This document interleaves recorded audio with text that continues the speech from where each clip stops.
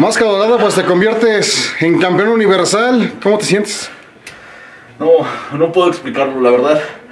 Un gran sentimiento, muchos sentimientos encontrados. Creo que no tengo las palabras, estoy viviendo, ya lo he dicho muchas veces, pero créanme, no, no me creo, no me creo todo lo que me está pasando. Obviamente hemos estado trabajando en el gimnasio, hemos estado trabajando en el ring. Y, pues con miras a esto, ¿no? Miras a ganar, a cumplir objetivos, a ganar campeonatos, cabelleras, máscaras. Pero una vez que pasan, en verdad, se siente que no es verdad. Yo ahorita estoy viviendo un sueño y espero espero eh, la gente le haya gustado mucho la lucha. Máscara Dorada, más allá de un, de un triunfo, es un compromiso porque los luchadores que han portado ese campeonato son grandes estrellas. Ya estás en esa lista, ¿cómo ves esta cuestión? Muy, muy grande la presión, bien lo dices. Antes de empezar la lucha, aquí arriba en los vestidores tenemos una pantalla y justamente estaba viendo a los luchadores que obtuvieron este gran campeonato. Y pues, como te digo, son luchadores muy, muy, muy, muy este, de alto nivel.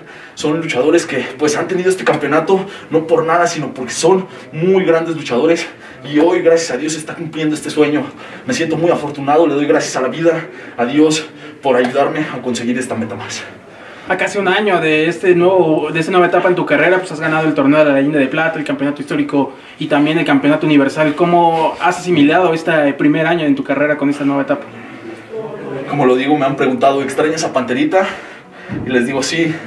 Bueno, lo extraño, al recordarlo siento mucha nostalgia, pero Máscara Dorada me ha dado mucho. Y creo que esa motivación de cambiar de nombre, esa motivación de recibir un nombre del Consejo Mundial de Lucha Libre es un gran, gran reto. Entonces, como lo digo, cuando me enteré de la noticia de cambiar de nombre, no había más que dar mi 100 en los entrenamientos, dar mi 100 en las luchas, este, tratar de conectar con el público que son lo que nos hacen, ¿no? Son la gente que pues nos impulsan, los que nos llevan a las estrellas. Entonces, pues no me lo creo, esto es un sueño y pues ahora ya me convierto en el campeón universal. Y con toda esa ola de logros, ¿qué más le falta a Máscara Dorada? Pues aquí no paramos, vamos por muchas cosas más. Hoy ya conseguí esto, un gran logro en mi carrera. Creo que pues es un campeonato que cualquier luchador del consejo quiere obtener. Hoy, gracias a Dios, se da la oportunidad y lo tengo yo. Pero no estamos cerrados a nada. Vamos por rivalidades, vamos por cabelleras, vamos por máscaras, por más campeonatos. Máscara Dorada está 100% motivado gracias al Consejo Mundial de Lucha Libre y a toda la gente que está atrás, atrás de este, de este luchador Máscara Dorada. Le ganaste al final a Titán, uno de los luchadores más experimentados en este triangular. ¿Cómo, también, cómo fue enfrentar también a, Pues fue un, un dulce sabor de boca. ¿Por qué? Porque me saqué la espinita que traía.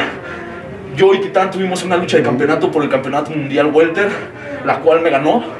Pero dije, hoy Hoy tiene que ser el momento en donde tenga que sacarme esa espinita, donde me enfrente a Titán, ya sea con quien sea. Magnus, gracias, gracias por dar tu 100, gracias por ser un buen rival, un rival muy rudo. Y creo que Titán, como lo digo, un gran rival, un, rival que ya tiene conocimiento internacional. Entonces, muy feliz, muy feliz de los rivales que me tocaron y gracias, gracias a ellos que también a la gente le gustó nuestra lucha. ¿Cuál es el tope de Máscara Dorada? No hay, no hay, no hay, no hay. El tope, bien dicen por ahí una frase, el límite es el, es el cielo. Entonces, vamos a seguir, vamos a seguir rompiéndola, vamos a seguir entrenando, seguimos con miras en campeonatos, en cabelleras, en máscaras.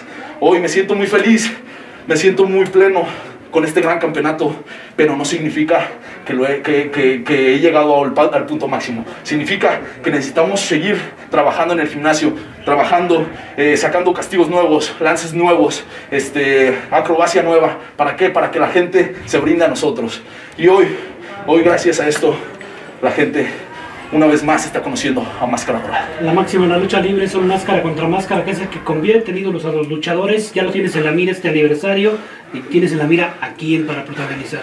Pues mira, ya me han preguntado mucho esto y hay, hay, no, no sé de dónde escoger.